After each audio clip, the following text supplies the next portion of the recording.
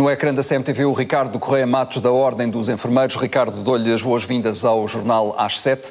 Imagino que para um enfermeiro é difícil ver esta situação que está a acontecer no Amador Sintra, mas não só. Mas para já eu gostava de ter uma noção, Ricardo. Como é que olha para um número mais baixo do que é costume nos últimos dias? Querem número de mortos, hoje 260, querem número de novos casos, 5.540.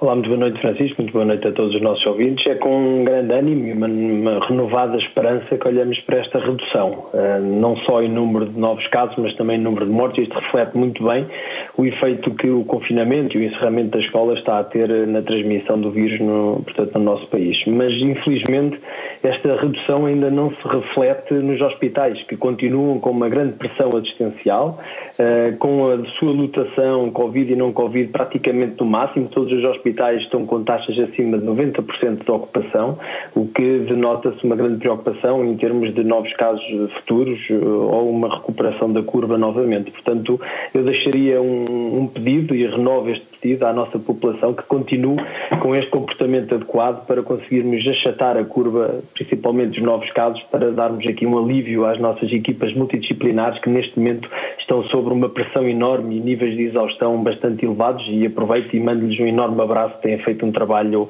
hercúleo na defesa do nosso país e na defesa da segurança das nossas, das nossas, das nossas populações.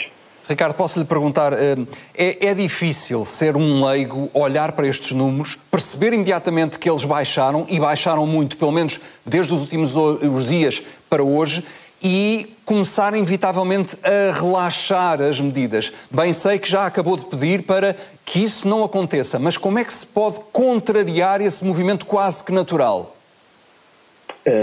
Através do exemplo. É esse o meu apelo a, todas as entidades uh, de lideranças intermédias, operacionais e de topo que deem o exemplo e que informem muito bem a população que esta redução é fruto do enorme esforço coletivo toda, toda a população, da nossa economia, com um prejuízo pessoal, familiar bastante elevado, mas temos que ultrapassar esta fase e temos que manter este confinamento, temos que, que, que ser muito resistentes, uh, caso contrário podemos assistir novamente a uma escalada, conforme aconteceu no final do ano e no início de 2021, as primeiras semanas deste mês, e de facto com os níveis de exaustão que os grupos profissionais estão a sentir neste momento, com a pressão assistencial bastante elevada, eu temo que se tivermos uma recuperação uh, negativa da curva, possamos entrar numa falência absoluta do nosso Sistema Nacional de Saúde. Portanto, é muito importante termos portanto, a consciência de que não só o nosso comportamento coletivo é absolutamente fundamental, como o nosso comportamento individual uh, será de todo imprescindível para ultrapassarmos esta fase.